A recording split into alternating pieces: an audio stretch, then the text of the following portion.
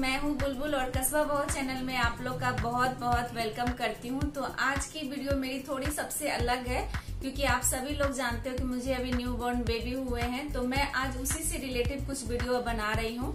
और बहुत छोटी सी वीडियो बना रही हूँ। मैं सोची कि चलो अचानक से मैं मेरे दिमाग में आया कि चलो मैं इस तरह की वीडियो मैं बनाती हूँ। तो आज की वीडियो एकदम बहुत ही हेल्पफुल होने वाली है। जो न्यू मॉम होंगे, शायद उनके लिए काफ़ी हेल्पफुल रहेगी।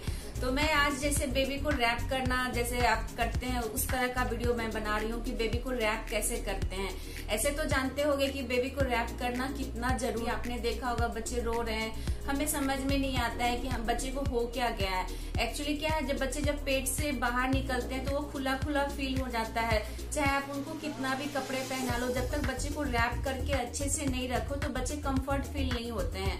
क्योंकि बच्चे पेट के अंदर थोड़ा टाइट सा ऐसे करके रहते हैं तो बच्चे को थोड़ा सा वो फीलिंग होना चाहिए। तभी लोग बच्चे को रैप करके रखते हैं। कम से कम वन से टू मंथ तो मुझे लगता है कि उस तरह रैप करना बहुत ज़रूरी होता है। तभी बच्चे कंफर्ट फील करते हैं। चाहे बच्चे को कपड़े पहना लो, तब भी अगर आप उसको रैप करके अच्छे से सुलाओगे तो बच्चे एकदम अच्छे से, एकदम कूल तरीके से सोते हैं। आप बच्चे को फ़ीड भी करा लो, तब भी उसको ना, अगर लगता है कि अरे बच्चे सो ही नहीं रहे हैं, अगर रैप करके सुलाओगे, चाहे नाइट हो, चाहे डे में हो हाँ थोड़ी बहुत मतलब विदाउट रैप का भी रख सकते हो। ऐसा नहीं है कि एकदम हमेशा ट्वेंटी फोर आवर्स बच्चे को रैप करके ही रखनी है, नहीं। कुछ देर के लिए आप उसको खुला छोड़ दो। बट जैसे बच्चे सोते हैं तो आप उसको रैप करके सुलाओगे तो बच्चे काफ़ी कंफर्ट तरीके से अच्छे से सोते हैं। तो मैं जिस तरह से रैप करती हूँ वो आप लोग को मैं वीडियो शेयर कर रही हूँ। आई होप आप लोग को मेरी ये वीडियो थोड़ी सी करने के लिए जो कपड़े हम यूज़ करते हैं, वो प्योर कॉटन की होनी चाहिए, जिससे बच्चे को कोई रेसेस ना हो, ना उसमें कोई चुभने वाली चीज़ हो, जिससे बच्चे को खारिश हो जाए।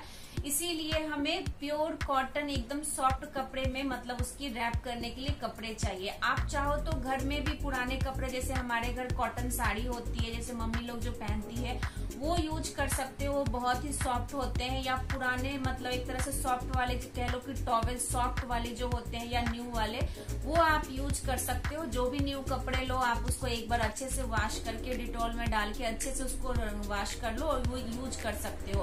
बट मैंने जो मंगाए, वो ऑनलाइन से मंगाए हैं तो मुझे इस तरह के कपड़े मतलब प्योर कॉटन के हैं इस तरह से देखो, एकदम सॉफ्ट कपड़े हैं, बिल्कुल भी इसमें एकदम रूखेपन नहीं है, एकदम सॉफ्ट कपड़े हैं। तो मुझे ये तीन का सेट मिला है, एक इस कलर में है, एक इस कलर में है, एक ये। और एक मैंने वॉश कर दिए हैं। तो मेरे पास तीन का सेट है और मेरे पास एक पुराने टॉवेल है। मतलब पुराने नहीं, न्यू टॉवेल है मतलब बेबी के लिए। तो वो भी बहुत सॉफ्ट कपड़े में काफ़ी बड़े साइज़ में है। तो मैं उससे भी रैप कर देती हूँ, बट बेबी को रैप करना बहुत ही इम्पोर्टेंट है, जिससे बेबी कंफर्ट तरीके से सोते हैं।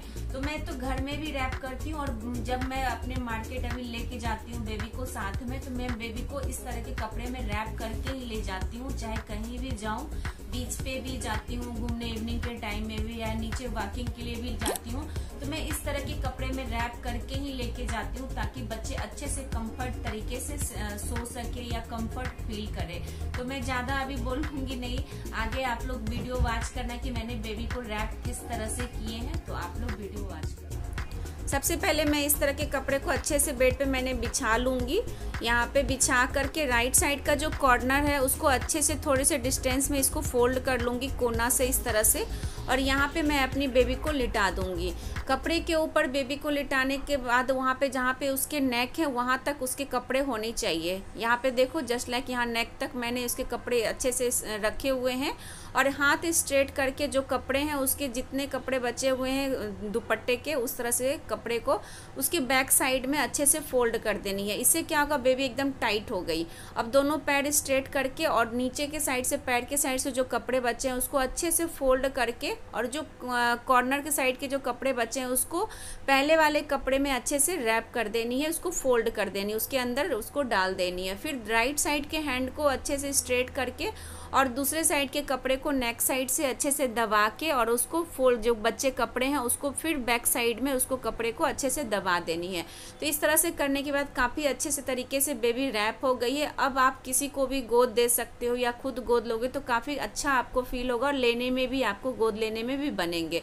तो ये देखो, अच्छे से मेरी बेबी रैप हो गई है, अच्छे से फोल्ड हो गई है। अब आप ऐसा नहीं सोचो कि मैंने एकदम पैर हाथ इसको एकदम टाइट कर दिए। नहीं बेबी को अच्छे से हाथ पैर चलाने में अच्छा फील हो रहा है। ऐसा नहीं कि मैंने एकदम टाइट कर दी है। तो इस तरह से देखो, मैंने बेबी को रैप कर दी है और मुझे गोद में भी उठाने में काफ़ी अच्छा सा होता है। तो आई होप आप लोग को मेरी ये वीडियो थोड़ी सी भी पसंद आएगी। तो प्लीज़ लाइक, शेयर, सब्सक्राइब ज़रूर करना। और मेरे चैनल पर जो न्यू है तो आप लोग प्लीज़ एक बार सब्सक्राइब कर लेना और मेरे मोर वीडियो को वॉच करना। Thank you thank you for watching.